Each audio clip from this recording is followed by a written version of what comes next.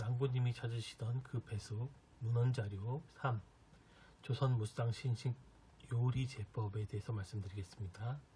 원문 배숙 도목 과숙과 같이 만들되 못 없고 발 잘고 큰 것으로 껍질을 벗겨 맨통으로 만들든지 굵게 점여서 만들든지 하나니라 권례셔 하는 것은 배를 벗겨서 맨호초를 드문드문하게 박아 삶아셔 굵게 점여 만들되 꿀물에 삼나니라. 이것이 여름 화채 대신 겨울에 쓰는 화채기로 화채 항렬에 넣을 것을 잘못 여기 넣었노라. 네 번역문입니다.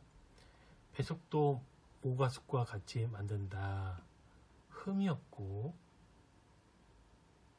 모양도 좋고 큰 배를 껍질을 벗겨 통째로 만들거나 굵게 점여서 만든다. 궁궐내에서 하는 것은 배를 벗겨서 통후추를 드문드문하게 박아 삶아서 굵게 점여 만든다. 꿀물에 삶는다. 이것이 여름 화채 대신 겨울에 쓰는 화채이다. 네, 현대식 조리법 보면은 방법 1. 배의 껍질을 벗겨서 통째로 하거나 굵, 굵게 점인다. 2. 꿀물에 삶는다.